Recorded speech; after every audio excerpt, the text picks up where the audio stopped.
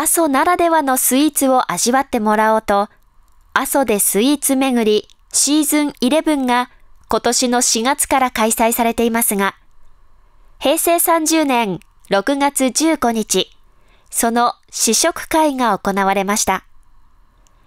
試食会には、スイーツ巡りに参加している阿蘇市内の16店舗から、プリンやアイスクリーム、まんじゅう、コーヒーなどが勢揃いしました。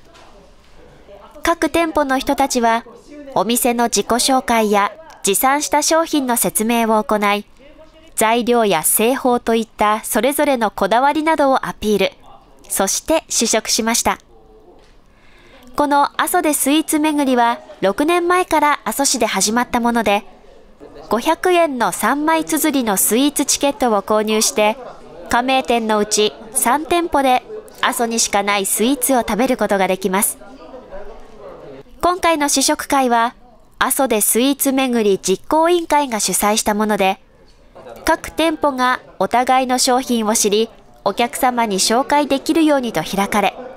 持ち寄られたスイーツを試食しながら、情報交換などを行っていました。阿蘇 deスイーツ巡りシーズン11は、来年の3月31日までの開催で、スイーツチケットは、道の駅阿蘇、一宮インフォメーションセンター、阿蘇市インフォメーションセンタ